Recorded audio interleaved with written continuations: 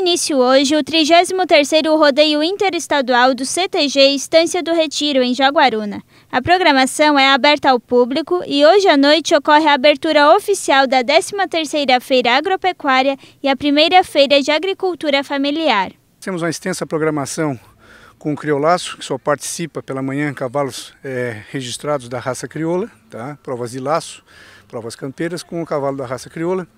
E a partir das 14 horas, então, já abre inscrição para as modalidades de laço.